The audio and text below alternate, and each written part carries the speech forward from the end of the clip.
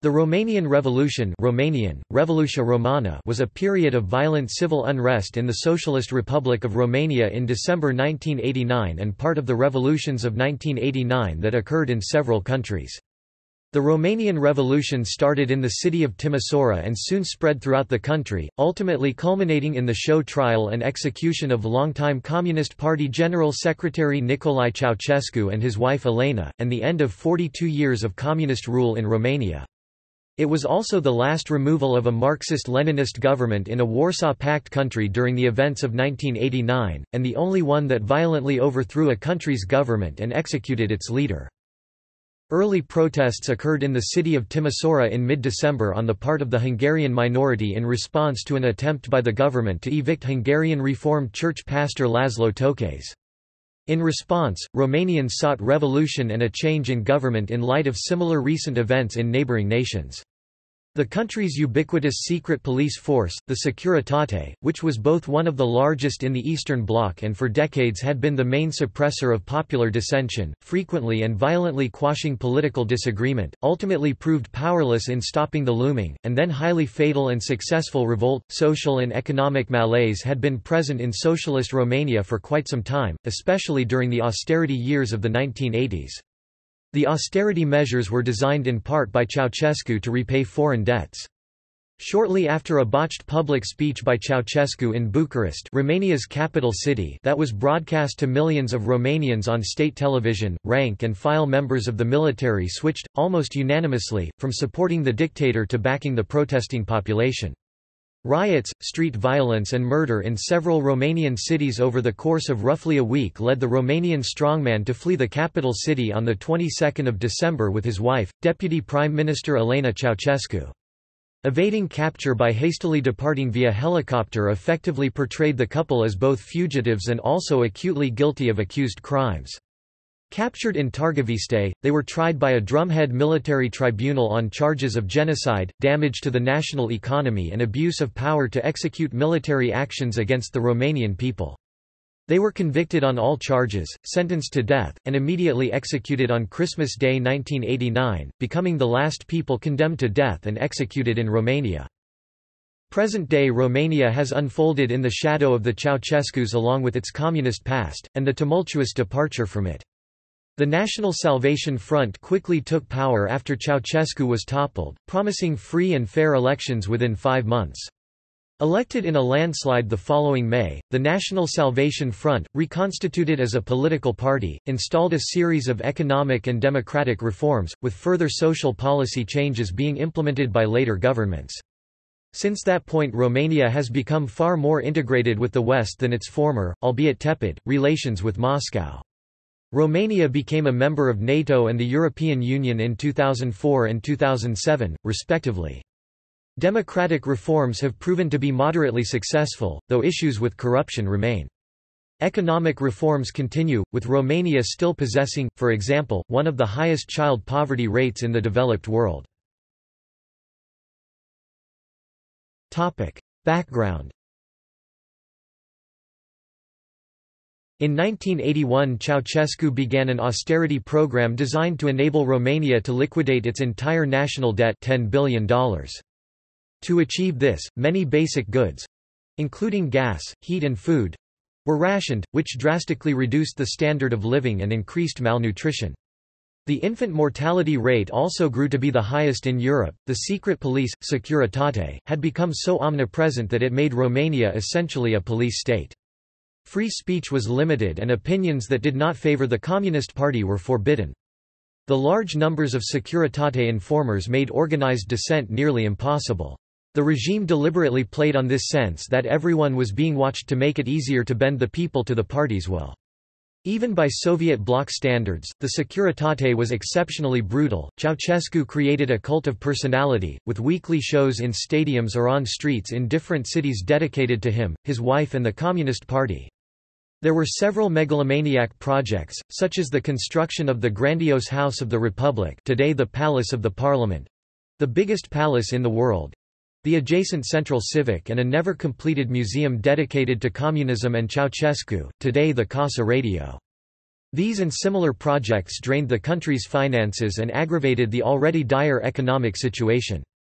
Thousands of Bucharest residents were evicted from their homes, which were subsequently demolished to make room for the huge structures. Unlike the other Warsaw Pact leaders, Ceausescu had not been slavishly pro Soviet but rather had pursued an independent foreign policy. Romanian forces did not join its Warsaw Pact allies in putting an end to the Prague Spring an invasion Ceausescu openly denounced while Romanian athletes competed at the Soviet-boycotted 1984 Summer Olympics in Los Angeles receiving a standing ovation at the opening ceremonies and proceeding to win 53 medals, trailing only the US and West Germany in the overall count.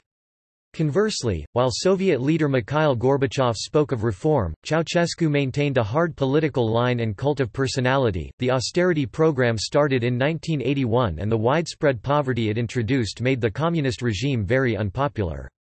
The austerity programs were met with little resistance among Romanians and there were only a few strikes and labor disputes, of which the Jiu Valley miners' strike of 1977 and the Brasov rebellion of November 1987 at the truck manufacturer Steagul Rosu were the most notable.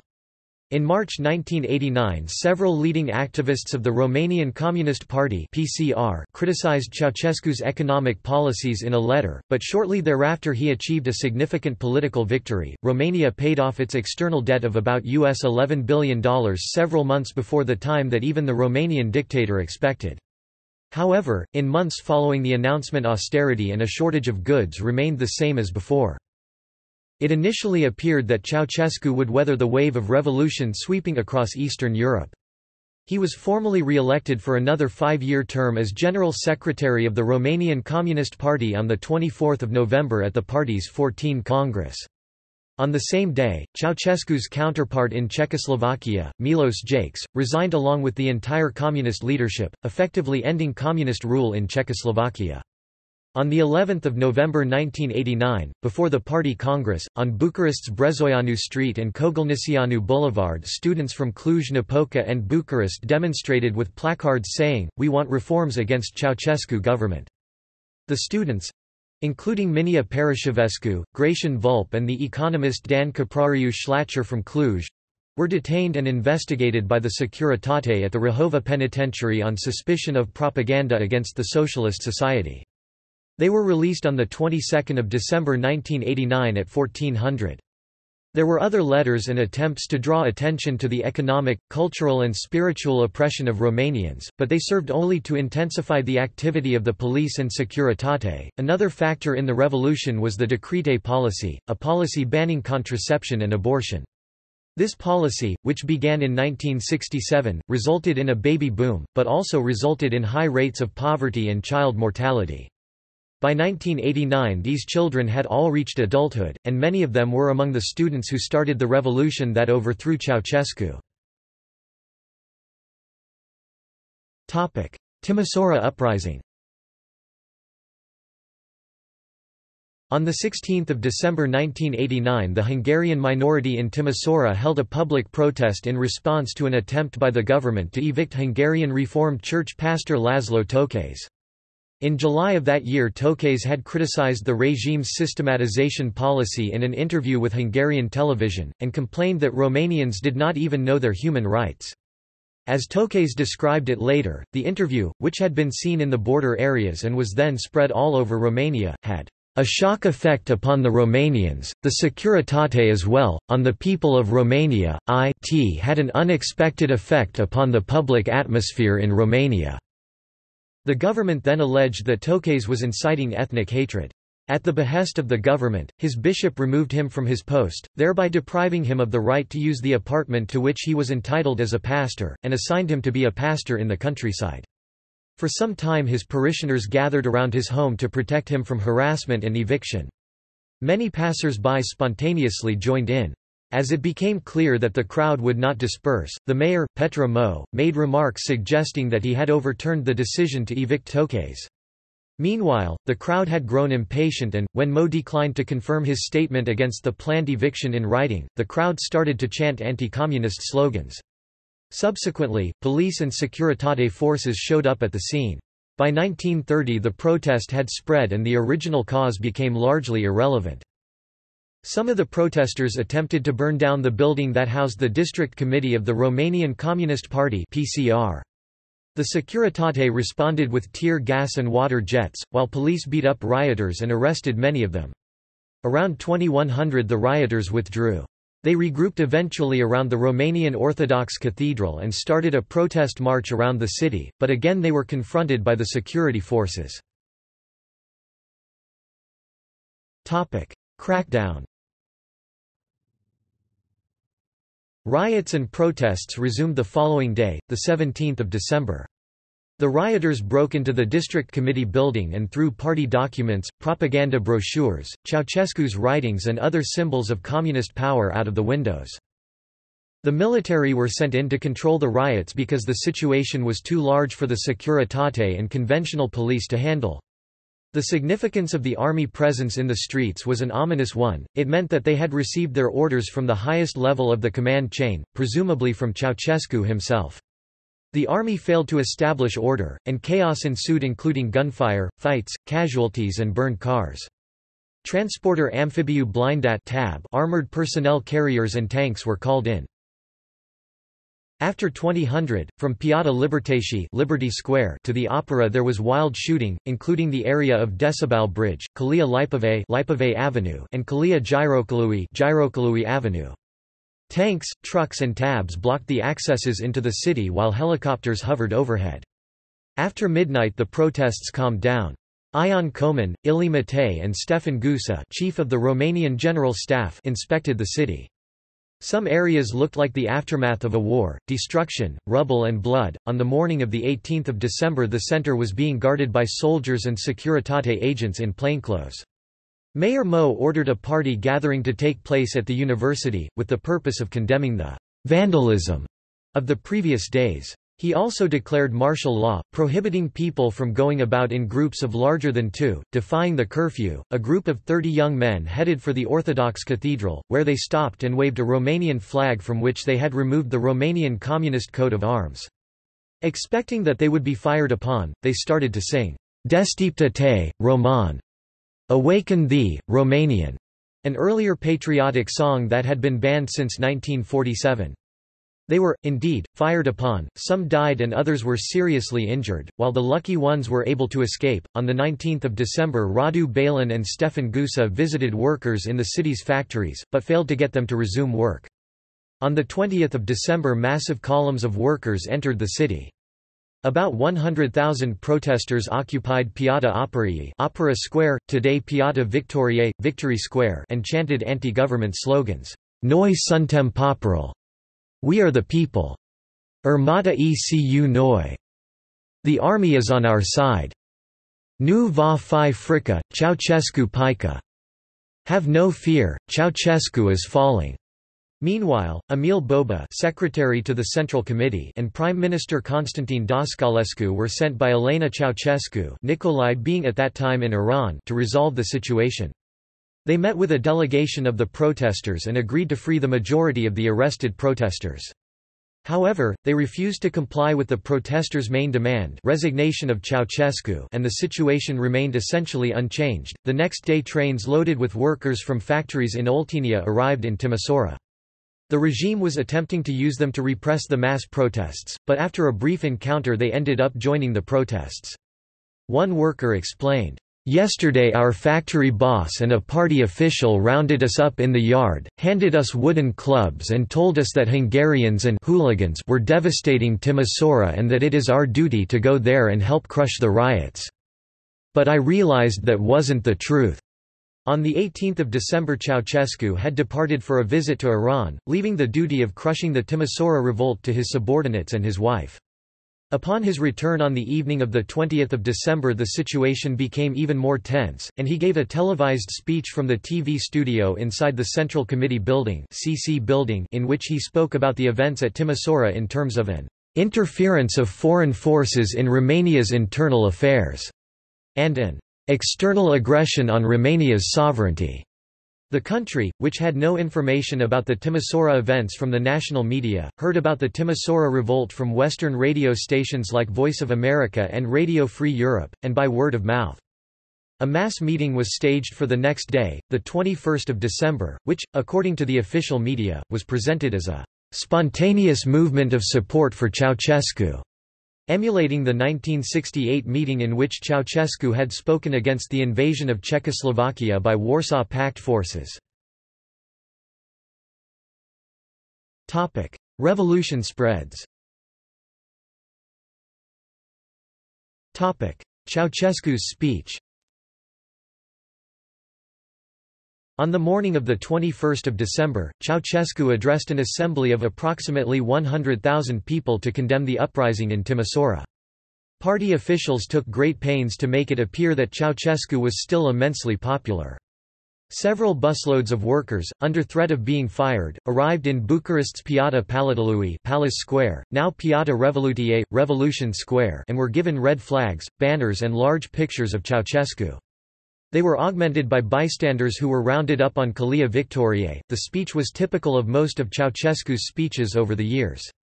Making liberal use of Marxist-Leninist jargon, he delivered a litany of the achievements of the socialist revolution and Romanian multilaterally developed socialist society. He blamed the Timisoara uprising on fascist agitators. However, Ceausescu was out of touch with his people and completely misread the crowd's mood. The people remained unresponsive, and only the front rows supported Ceausescu with cheers and applause. About two minutes into the speech, some in the crowd actually began to jeer, boo, whistle and yell insults at him, a reaction unthinkable for most of his rule. Workers from a Bucharest power plant started chanting, Ti mi so ara, Ti mi so ara, which was soon picked up by others in the crowd. In response, Ceausescu raised his right hand in hopes of silencing the crowd. His stunned expression remains one of the defining moments of the end of communism in Eastern Europe. He then tried to placate the crowd by offering to raise workers' salaries by 200 lei per month, about 9 US dollars at the time, yet a 5% to 10% raise for a modest salary and student scholarships from 100 to 110 lei while continuing to praise the achievements of the socialist revolution. However, a revolution was brewing right in front of his eyes. As Ceausescu was addressing the crowd from the balcony of the Central Committee building, sudden movement came from the outskirts of the massed assembly, as did the sound of what various sources have reported as fireworks, bombs or guns, which together caused the assembly to break into chaos. Initially frightened, the crowds tried to disperse. Bullhorns then began to spread the news that the Securitate was firing on the crowd and that a revolution was unfolding. This persuaded people in the assembly to join in. The rally turned into a protest demonstration. The entire speech was being broadcast live nationwide. Censors attempted to cut the live video feed and replace it with communist propaganda songs and video praising the Ceausescu regime, but parts of the riots had already been broadcast and most of the Romanian people realized that something unusual was in progress. Ceausescu and his wife, as well as other officials and CPEX members, panicked. Ceausescu's bodyguard hustled him back inside the building. The jeers and whistles soon erupted into a riot, the crowd took to the streets, placing the capital, like Timisoara, in turmoil.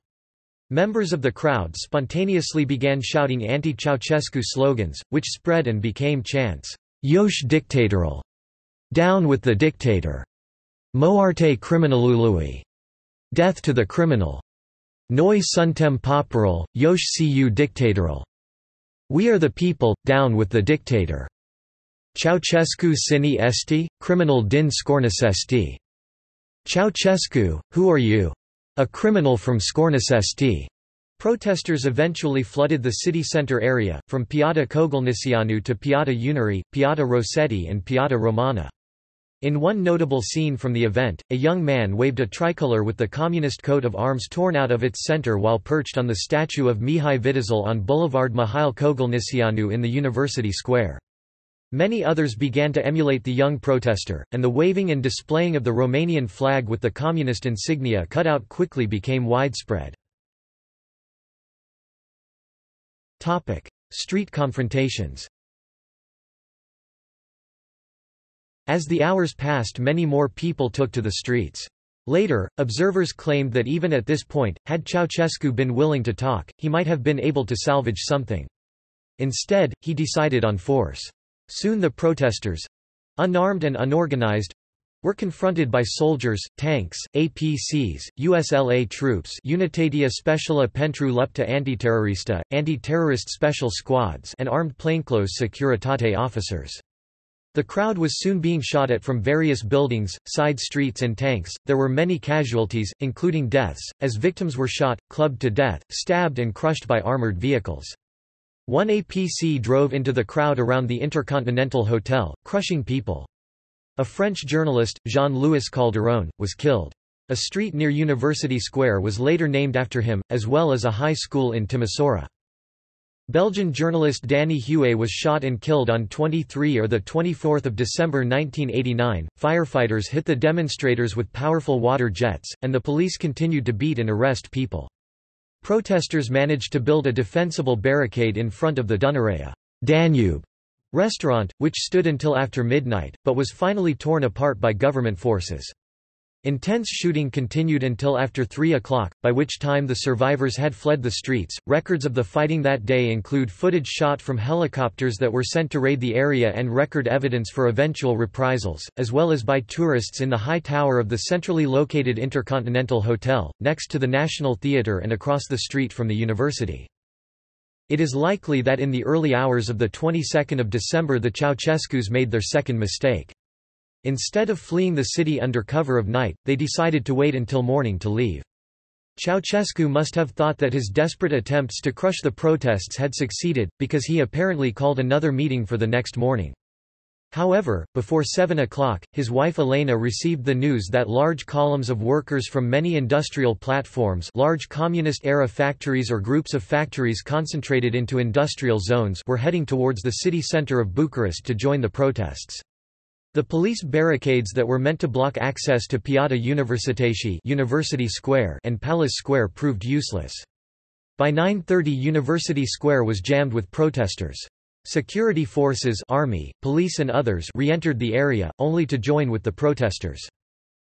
By 10 o'clock, as the radio broadcast was announcing the introduction of martial law and a ban on groups larger than five persons, hundreds of thousands of people were gathering for the first time, spontaneously, in central Bucharest. The previous day's crowd had come together at Ceausescu's orders.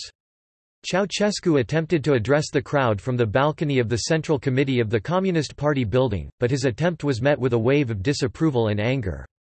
Helicopters spread manifestos which did not reach the crowd, due to unfavorable winds instructing people not to fall victim to the latest diversion attempts, but to go home instead and enjoy the Christmas feast. This order, which drew unfavorable comparisons to Marie Antoinette's haughty but apocryphal, "'Let them eat cake' Further infuriated the people who did read the manifestos, many at that time had trouble procuring such basic foodstuffs as cooking oil. Military defection and Ceausescu's fall At approximately 9.30 on the morning of the 22nd of December Vasile Milea, Ceausescu's Minister of Defense, died under suspicious circumstances. A communique by Ceausescu stated that Milea had been sacked for treason, and that he had committed suicide after his treason was revealed. The most widespread opinion at the time was that Milea hesitated to follow Ceausescu's orders to fire on the demonstrators, even though tanks had been dispatched to downtown Bucharest that morning. Milea was already in severe disfavor with Ceausescu for initially sending soldiers to Timisoara without live ammunition. Rank-and-file soldiers believed that Milea had actually been murdered and went over virtually en masse to the revolution. Senior commanders wrote off Ceausescu as a lost cause and made no effort to keep their men loyal to the regime. This effectively ended any chance of Ceausescu staying in power. Accounts differ about how Milea died. His family and several junior officers believed he had been shot in his own office by the Securitate, while another group of officers believed he had committed suicide. In 2005 an investigation concluded that the minister killed himself by shooting at his heart, but the bullet missed the heart, hit a nearby artery and led to his death shortly afterward. Upon learning of Milea's death, Ceausescu appointed Victor Stanculescu Minister of Defense. He accepted after a brief hesitation. Stanculescu, however, ordered the troops back to their quarters without Ceausescu's knowledge, and also persuaded Ceausescu to leave by helicopter, thus making the dictator a fugitive. At that same moment angry protesters began storming the Communist Party headquarters. Stanculescu and the soldiers under his command did not oppose them, by refusing to carry out Ceausescu's orders he was still technically commander-in-chief of the army. Stanculescu played a central role in the overthrow of the dictatorship. I had the prospect of two execution squads, Ceausescu's and the revolutionary one, confessed Stanculescu later. In the afternoon, Stanculescu chose Ion Iliescu's political group from among others that were striving for power in the aftermath of the recent events. Helicopter extraction Following Ceausescu's second failed attempt to address the crowd, he and Elena fled into a lift elevator headed for the roof. A group of protesters managed to force their way into the building, overpower Ceausescu's bodyguards and make their way through his office before heading onto the balcony. They didn't know it, but they were only a few meters from Ceausescu. The lift's electricity failed just before it reached the top floor, and Ceausescu's bodyguards forced it open and ushered the couple onto the roof. At 11:20 on the 22nd of December 1989, Ceausescu's personal pilot, Lieutenant Col. Vasile Maluțan, received instructions from Lieutenant Gen. Opruta to proceed to Palace Square to pick up the president. As he flew over Palace Square he saw it was impossible to land there. Maluțan landed his White Dauphin, number 203, on the terrace at 1144. A man brandishing a white net curtain from one of the windows waved him down, Maluțan said. Then Stelica, the co-pilot, came to me and said that there were demonstrators coming to the terrace. Then the Ceausescus came out, both practically carried by their bodyguards. They looked as if they were fainting. They were white with terror. Manea Mănescu one of the vice presidents and Emil Bobu were running behind them. Mănescu, Bobu, Neagoe and another Securitate officer scrambled to the four seats in the back. As I pulled Ceausescu in, I saw the demonstrators running across the terrace. There wasn't enough space, Elena Ceausescu and I were squeezed in between the chairs and the door.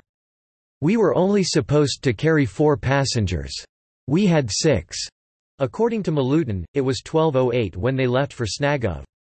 After they arrived there, Ceausescu took Maluțan into the presidential suite and ordered him to get two helicopters filled with soldiers for an armed guard, and a further Dauphin to come to Snagov. Maluțan's unit commander replied on the phone, there has been a revolution. You are on your own. Good luck. Maluțan then said to Ceausescu that the second motor was now warmed up and they needed to leave soon but he could only take four people, not six.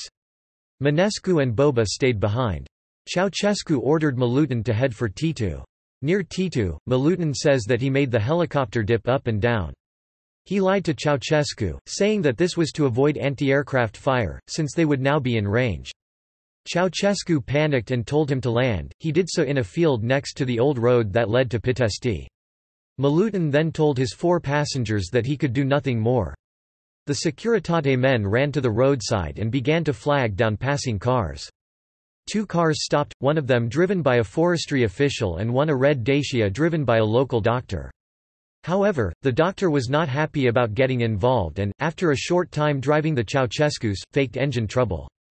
A car of a bicycle repair man was then flagged down and he took them to Targoviste. The driver of the car, Nicolae Petrișor, convinced them that they could hide successfully in an agricultural technical institute on the edge of town. When they arrived, the director guided the Ceausescus into a room and then locked them in. They were arrested by local police at about 1530, then after some wandering around transported to the Targoviste garrison's military compound and held captive for several days until their trial. Topic: Trial and execution. On 24 December Ion Iliescu, head of the newly formed Council of the National Salvation Front, signed a decree establishing the Extraordinary Military Tribunal, a drumhead court-martial to try the Ceausescus for genocide and other crimes. The trial was held on 25 December, lasted for about two hours and delivered death sentences to the couple. Although nominally the Ceausescus had a right of appeal, their execution followed immediately, just outside the improvised courtroom, being carried out by three paratroopers with their service rifles. Footage of the trial and of the executed Ceausescus was promptly released in Romania and to the rest of the world. The actual moment of execution was not filmed since the cameraman was too slow, and he managed to get into the courtyard just as the shooting ended. In footage of the trial, Nicolae Ceausescu is seen answering the ad hoc tribunal judging him and referring to some of its members among them Army General Victor Atanasie Stanculescu and future Romanian Secret Service head Virgil Măgureanu as traitors. In this same video Ceausescu dismisses the tribunal as illegitimate and demands his constitutional rights to answer to charges in front of a legitimate tribunal. New government After Ceausescu left, the crowds in Palace Square entered a celebratory mood, perhaps even more intense than in the other former Eastern Bloc countries because of the recent violence. People cried, shouted and gave each other gifts mainly because it was also close to Christmas Day, which was a long-suppressed holiday in Romania. The occupation of the Central Committee building continued, people threw Ceausescu's writings, official portraits and propaganda books out the windows, intending to burn them. They also promptly ripped off the giant letters from the roof making up the word, "'communist' communist in the slogan, Trăiască Partidul Communist Roman. Long live the Communist Party of Romania! A young woman appeared on the rooftop and waved a flag with the coat of arms torn out. At that time, fierce fights were underway at Bucharest Otopeni International Airport between troops sent against each other under claims that they were going to confront terrorists. Early in the morning, troops sent to reinforce the airport were fired upon. These troops were from the UMO 865 Campina military base, and were summoned there by Gen. Ion Rus, the commander of the Romanian Air Force. The confrontation resulted in the deaths of 40 soldiers as well as eight civilians. The military trucks were allowed entrance into the airport's perimeter, passing several checkpoints. However, after passing the last checkpoint, being on their way to the airport, they were fired upon from different directions. A civilian bus was also fired upon during the firefight. After the firefight the surviving soldiers were taken prisoner by the troops guarding the airport, who seemed to think that they were loyal to Ceausescu's regime. However, the seizure of power by the new political structure National Salvation Front FSN, which emanated from the second tier of the Communist Party leadership with help of the plotting generals, was not yet complete. Forces considered to be loyal to the old regime spontaneously nicknamed terrorists opened fire on the crowd and attacked vital points of socio-political life, the television, radio and telephone buildings, as well as Casa Scante the center of the nation's print media, which serves a similar role today under the name Casa Presei Libere House of the Free Press and the post office in the district of Drumul Taberei, Palace Square site of the Central Committee building, but also of the Central University Library, the National Art Museum in the former Royal Palace, and the Ateneul Roman Romanian Athenaeum, Bucharest's leading concert hall, the university and the adjoining University Square one of the city's main intersections, Otopeni and Băneasa airports, hospitals and the Ministry of Defense. During the night of 22 to 23 December Bucharest residents remained on the streets, especially in the attacked zones, fighting and ultimately winning, even at the cost of many lives a battle with an elusive and dangerous enemy. With the military confused by contradictory orders, true battles ensued with many real casualties. At 2100 on 23 December, tanks and a few paramilitary units arrived to protect the Palace of the Republic. Meanwhile, messages of support were flooding in from all over the world. France, President François Mitterrand, the Soviet President Mikhail Gorbachev, Hungary, the Hungarian Socialist Party, the new East German government. At that time the two German states were not yet formally reunited. Bulgaria, Petar Mladenov, General Secretary of the Communist Party of Bulgaria, Czechoslovakia, Ladislav Adamec, leader of the Communist Party of Czechoslovakia, and Václav Havel, the dissident writer, revolution leader and future president of the Republic, China the Minister of Foreign Affairs, the United States President George H. W. Bush, Canada Prime Minister Brian Mulroney, West Germany Foreign Minister Hans-Dietrich Genscher, NATO Secretary-General Manfred Wörner, the United Kingdom Prime Minister Margaret Thatcher, Spain, Austria, the Netherlands, Italy, Portugal, Japan the Japanese Communist Party, SFR Yugoslavia government and Moldavia. In the following days, moral support was followed by material support. Large quantities of food, medicine, clothing, medical equipment, and other humanitarian aid were sent to Romania. Around the world, the press dedicated entire pages and sometimes even complete issues to the Romanian Revolution and its leaders. On the 24th of December, Bucharest was a city at war. Tanks, APCs, and trucks continued to patrol the city and surround trouble spots in order to protect them. At intersections near strategic objectives, roadblocks were built, automatic gunfire continued in and around University Square, the Gara de Nord the city's main railroad station and Palace Square. Yet amid the chaos, some people were seen clutching makeshift Christmas trees. Terrorist activities continued until 27 December, when they abruptly stopped. Nobody ever found out who conducted them, or who ordered their termination. Casualties The total number of deaths in the Romanian Revolution was 1,104, of which 162 were in the protests that led to the overthrow of Nicolae Ceausescu 16–22 December 1989 and 942 in the fighting that occurred after the seizure of power by the new political structure National Salvation Front FSN. The number of wounded was 3,352, of which 1,107 occurred while Ceausescu was still in power and 2,245 after the FSN took power. Official figures place the death toll of the revolution at 689 people, many of whom were civilians. Burning of the Central University Library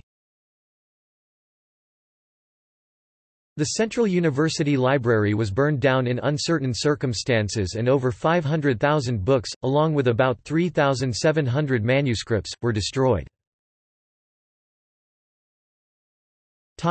Aftermath Political changes The revolution brought Romania vast attention from the outside world. Initially, much of the world's sympathy went to the National Salvation Front government under Ion Iliescu, a former member of the Communist Party leadership and a Ceausescu ally prior to falling into the dictator's disfavor in the early 1980s. The National Salvation Front, composed mainly of former members of the second echelon of the Communist Party, immediately assumed control over the state institutions, including the main media outlets such as the national radio and television networks. They used their control of the media in order to launch attacks against their political opponents, newly created political parties that claimed to be successors to those existing before 1948. Much of that sympathy was squandered during the Mineriad. Massive protests erupted in downtown Bucharest as political rallies organized by the opposition parties during the presidential elections, with a small part of the protesters deciding to stand ground even after Iliescu was re-elected with an overwhelming majority of 85%. Attempts by police to evacuate the remaining protesters resulted in attacks on state institutions, prompting Iliescu to appeal to the country's workers for help. Infiltrated and instigated by former Securitate agents, in the following days a large mass of workers, mainly miners, entered Bucharest and attacked and fought with anti-government protesters and gathered bystanders. On the eve of the first free post-communist elections day, the 20th of May 1990, Silviu Brucan, who was part of the National Salvation Front FSN, argued that the 1989 revolution was not anti-communist, being only against Ceausescu. He stated that Ion Iliescu made a «monumental» mistake in «conceding to the crowd» and banning the Romanian Communist Party. Iliescu remained the central figure in Romanian politics for more than a decade, losing the presidency in 1996 before regaining it in 2000. He retired for good in 2004. While other former ruling communist parties in the Soviet bloc reconfigured themselves into social democratic or democratic socialist parties, the PCR melted away in the wake of the revolution. However, a number of former PCR politicians remain prominent on Romania's political scene. Until the election of Klaus Iohannis in 2014, every post 1989 president was a former PCR member. Economic reforms The National Salvation Front chose between the two economic models that political elites claimed were available to post-communist Eastern European countries, shock therapy or gradual reforms. The NSF chose the latter, slower reforms, because it would have not been possible to convince the people who were already exhausted After Ceausescu's austerity to undergo further sacrifices, nevertheless, the neoliberal reforms were implemented, although not all at once. By the end of 1990, the prices were liberalized and a free currency exchange rate, devaluing the leu by 60%. The land of the state-owned collective farms was distributed to private owners and a list of 708 large state-owned enterprises to be privatized was devised. In 1991 Romania signed an agreement with the IMF and began the privatization of state-owned enterprises, with the first privatization law being passed in 1991. In 1992, the Stolojan government began an austerity plan, limiting wages and further liberalizing prices. The economic situation deteriorated and inflation as well as unemployment increased substantially.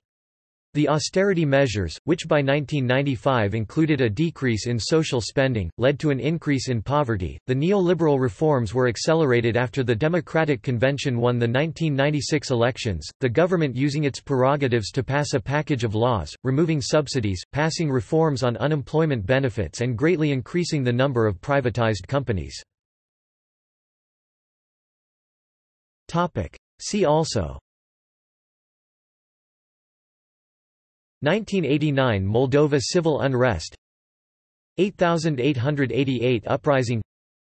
Die Wende Dissolution of the Soviet Union.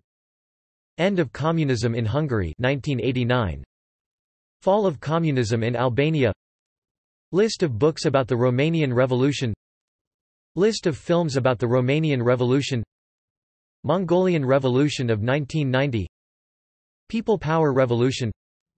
Revolutions of 1989 Romanian anti-communist resistance movement. Singing Revolution. Tiananmen Square protests of 1989 Velvet Revolution. Videograms of a Revolution. Topic. Notes References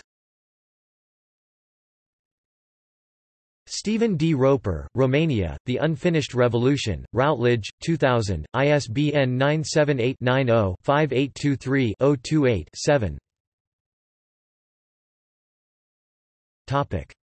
Further reading In Romanian. Sinucidir, un termen a cooperator pentru crima. Suicide, a term to cover up a crime.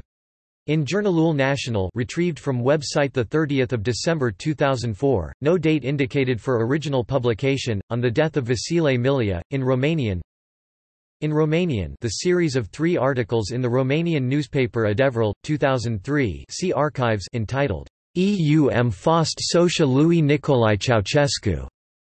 I was Ceausescu's double.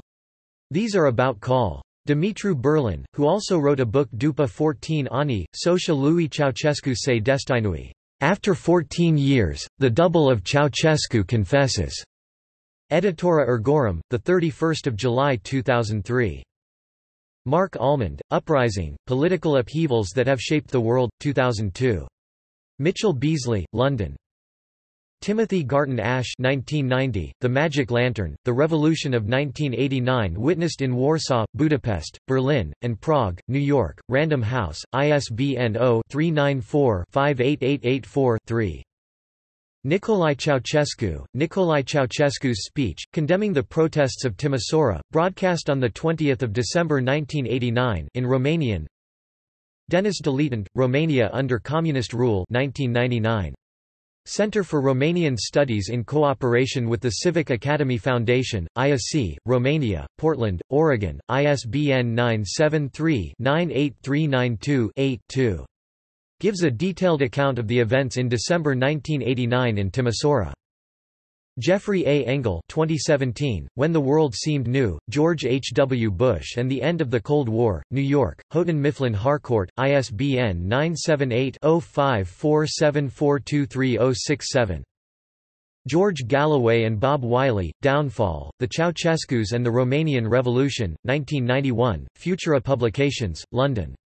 ISBN 0-7088-5003-0 in Romanian Marius Mioc, Revoluția din Timisoara, Asa Kuma Fost, 1997, Brumar Publishing House, Timisoara in Romanian In Romanian Marius MIOC, The Anti-Communist Romanian Revolution of 1989, Marineasa Publishing House, Timisoara 2002 In Romanian Marian Oprea, O trecut 15 ani, conspiratia securitatea.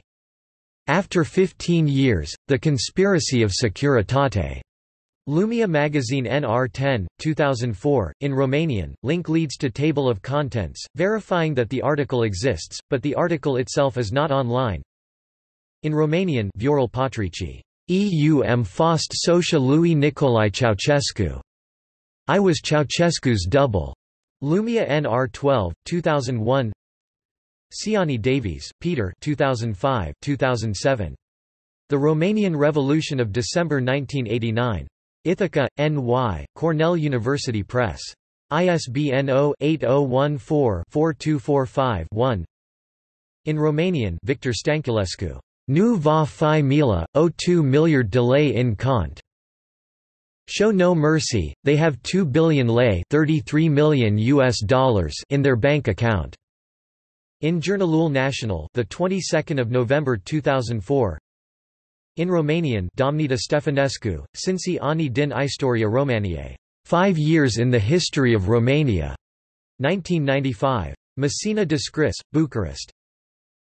In Romanian, Mihai Voni, Crimele Revolutie, Massacrul de la Otopeni. Murders of the Revolution, the Otopeni Massacre. In Adevărul 15 December 2009. Topic. External links Article on justice failing for 942 killed in revolution on eve of 20th anniversary. Video of Nicolae Ceausescu's final speech in Republican Square. Anonymous photo essay about the Romanian Revolution of 1989 TV broadcasts from 22 and 23 December 1989 The Romanian Revolution of December 1989 Academic article on feature films about 1989 Academic article on documentaries about 1989